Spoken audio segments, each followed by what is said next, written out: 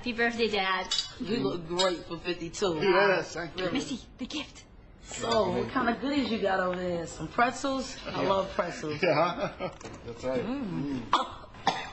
What happened? I know what to do. Don't panic.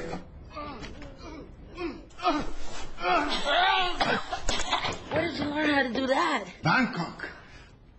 Our call and text bundles don't expire after a month, so who cares if no one's talking to you for a while?